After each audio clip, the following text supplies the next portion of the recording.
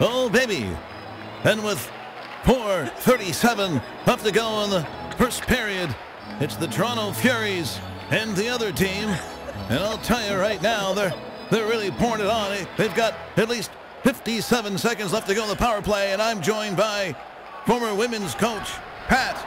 What do they need to, to do to get this puck in the net? Well, I think if the girls, uh, you know, continue to cycle down low and uh, maybe go to that reverse umbrella. Ooh. Puck's dropped. And it goes back to the to the girl. Over to another girl. Here's a shot. Oh, she didn't miss by much, that girl. And now it's a, oh, that looked like she was trying to do a backhand. oh, oh, that's good stuff. They're really pouring it on now, the Furies. Very often, I uh, used to tell my forwards. No, no, not now, not now. Oh, they freeze the puck. And they get another face-off. Sometimes I would take the girls in the summer and we'd all uh, practice the power play on the beach. And we'd all wear bikinis, even me. Oh, so, uh, you're a girl.